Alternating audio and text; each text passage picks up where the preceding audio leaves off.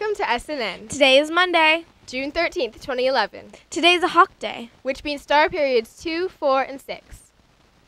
New background, it's our last of the year. Remember what we did last year? Oh, yeah, we wrote summer wishes on the white paper. Add your name and your summer wishes to the wall at lunch. Be respectful about the space. Share the space, sign your name and the summer wish. It's here until the last day of school. We're into the very last full week of school. But the seventh grade ascenders will go on a field trip on the Sternwheeler.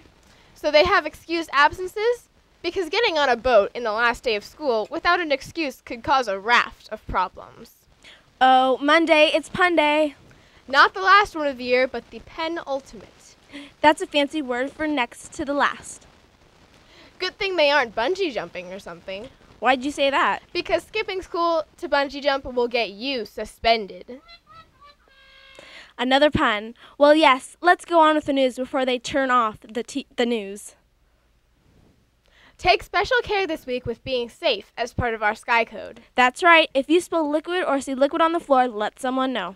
Or get some paper towels and help clean it up. Let's use a little common sense here. Floors, liquids, slippery. Someone could take a spill, Make help make it safe for someone. and it could be you. Doesn't get hurt. Summer checkout is on. 30 books for summer reading, and about 100 students have signed up. Not sure what to do? Talk with Miss Pappas and get your student account changed to summer so you too can bene- benefit. If you still have books on your account and want them for summer, you need to chat with Ms. Pappas.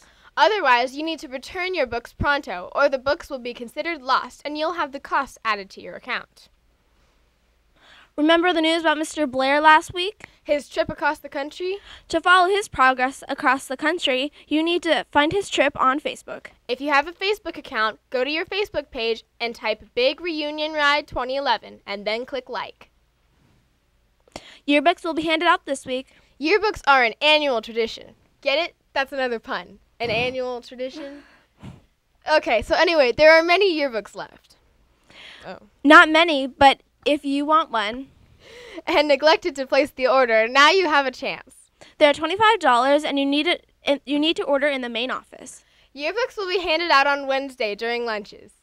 Then you'll have a chance to do yearbook signing Wednesday on at Flex. This week, we thought we'd share some popular and respectful ways to sign a yearbook. Find a quote you like, something inspiring, because after all, we we look back at these yearbooks and we want to be inspired. Try this. Wherever you go, Go with all your heart. or try this one. There are big ships, And small ships. but the best ship of all is friendship. Remember the code. Be safe. Be respectful and be responsible. Have a magnificent Monday. This has been Edie. And Emily. At this time, please stand for the pledge.